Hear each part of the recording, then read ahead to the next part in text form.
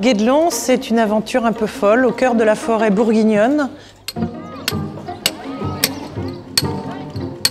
Depuis une vingtaine d'années, on a décidé de, construire, pour comprendre, un château fort du XIIIe siècle. Le XIIIe siècle en France est une période fabuleuse. Personne n'avait jamais construit dans notre monde contemporain de château du XIIIe siècle. Donc, de la première pierre à la dernière tuile, il va falloir qu'on apprenne. Nous sommes une équipe de 70 personnes, euh, dont euh, une quarantaine qui bâtissent ce château fort. On a annoncé 25 ans et qu'avec cette équipe, euh, rien n'est impossible et les rêves les plus fous sont réalisables. Alors Guédelon il est différent des autres châteaux qui sont dans le monde tout simplement parce qu'il a été fabriqué au XXIe siècle avec des moyens qui eux sont médiévaux, hein, avec des techniques qui ont 800 ans. J'ai fait une dizaine d'années de, de chantier un petit peu partout en France. Alors comparer Guédelon avec ce que j'ai fait avant ça va être difficile parce que euh, Guédelon est un chantier qui est unique en fait, c'est de la science, c'est de l'archéologie et euh, ça ça me convient bien. C'est un retour dans l'histoire que je trouve intéressant. Chaque petite pierre a été taillée. Chaque pièce de bois a été abattue à la main, équarrie à la main, euh, tracée à la main par une équipe fabuleuse. Donc ça, c'est magnifique. Et donc là, il y a une énergie incroyable que je trouve complètement émouvante. On a un vrai château en fait et c'est nous qui l'avons fabriqué. Donc moi je suis quand même super fier de ce qu'on fait et c'est quand même une super aventure.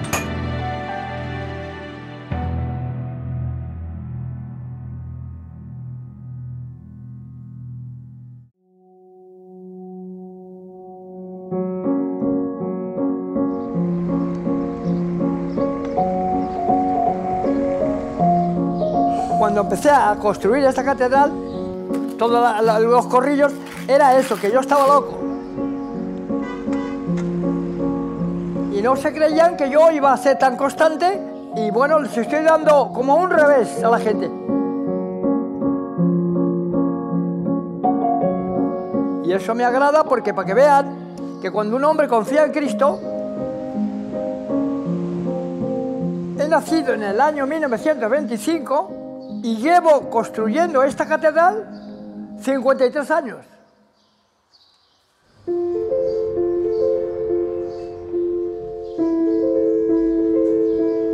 Yo cuando empecé a, empezar la catedral era joven, ahora ya mayor, porque las nueve ya es mucho. No he estudiado la arquitectura, soy un labrador. Tenemos ahí salones parroquiales, los claustros, tengo un batisterio, que es la entrada, en esa cúpula, y la crista, claro, con una, una escalinata que no, no la hay en Madrid, esa. No quiero materia. Dinero, nada. Y entonces lo he desechado, incluso en mi casa. Es imposible que yo termine la catedral en vida, porque queda muchísimo que hacer. Pues la esperanza que tengo yo de esta catedral, cuando yo me muera, pues se lo dejo en las manos divinas. Yo no, no sé dónde llegará, ¿eh? Se- el ángel se carga de ello, ¿eh? A mí me gustaría que me enterraran en esta catedral, que son muy importantes, ¿eh? Para mí.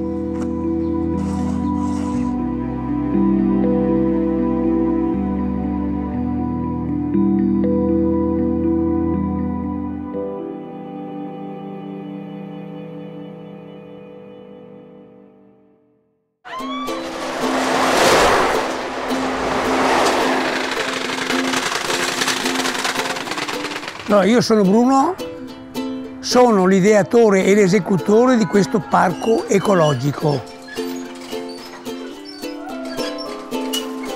Magari osservando un movimento in natura che c'è, un ramo che si abbassa, un uccello che vola e di conseguenza mi sorge l'idea, magari quel movimento dico potrei anche fare un gioco e da quel momento posso giudicarmi dire adesso lo.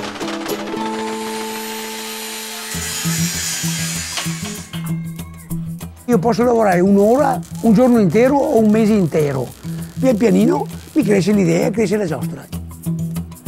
Quando è finito, io me lo guardo, ah, dico, ma guarda che bello che è questo gioco, l'ho fatto da me. Dai 40 ai 50 giochi ci sono, dai più piccoli naturalmente ai più grandi. Tutto a forza manuale, non ci sono meccanismi. Se tu vuoi giocare, qui devi spingere e sudare, altrimenti il gioco non si muove. Questo è l'importante ed il bello di questo parco. I genitori, per far vedere ai bambini come si gioca, sanno che loro, ma io in cuor loro sono convinto che ritornano bambini anche loro, è bello, quella, bello vedere queste cose.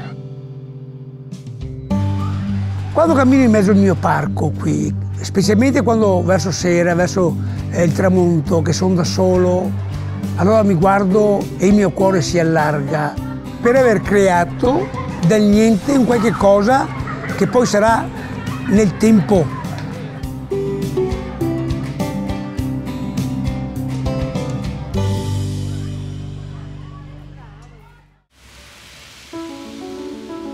Ralph Waldo Emerson once quoted that uh, nothing great can ever be achieved without enthusiasm. I have a lot of enthusiasm.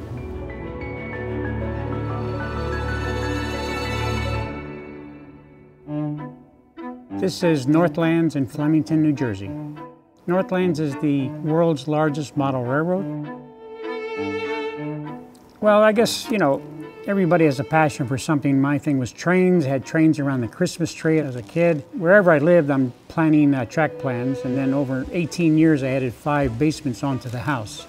And from that, I got fairly good at making mountains and bridges and design work, and we decided to give it to the world. So we tore it all down, bought this land, built Northlandz. Any given day, we run between 85 and 90 trains. Some of the details in Northlandz inside, about 40,000 feet of track, about 4,000 buildings, over 400 bridges.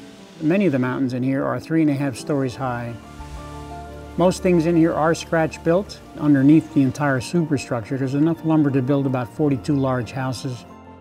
It takes a few hours to go through for the average person to see everything.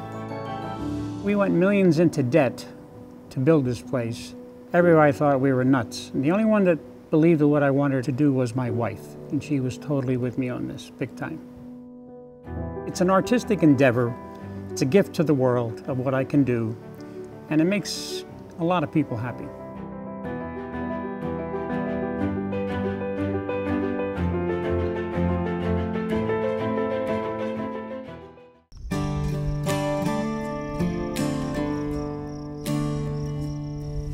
The town of Regent is dying. I said, if someone doesn't do something, this community will be a dead community. I have a paved road from interstate to Regent. Now what do I do to bring people down 30 miles?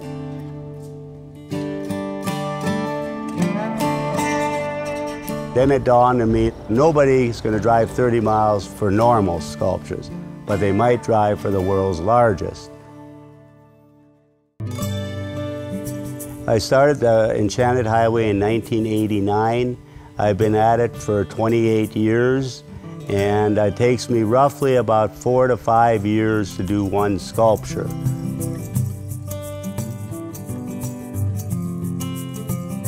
The first year, local ranchers taught me how to weld. I put in eight hours a day to get one sculpture done. I use old oil well tanks I cut them open and I flatten it out, and that's 90% of my metal. It's a passion project right now. I started with the world's largest tin family. The man is 45 feet tall, the woman is 43 feet, and the boy is 23 feet. Geese in Flight has over 300 lengths of oil well pipe on, over 15 miles of weld on it, and is in the Guinness Book of Records the world's largest scrap metal sculpture.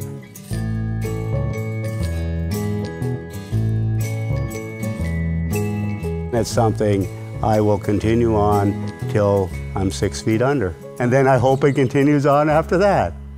I want people to see that this guy who didn't know how to weld, didn't have an art class, if he can create something like this, I can do most anything.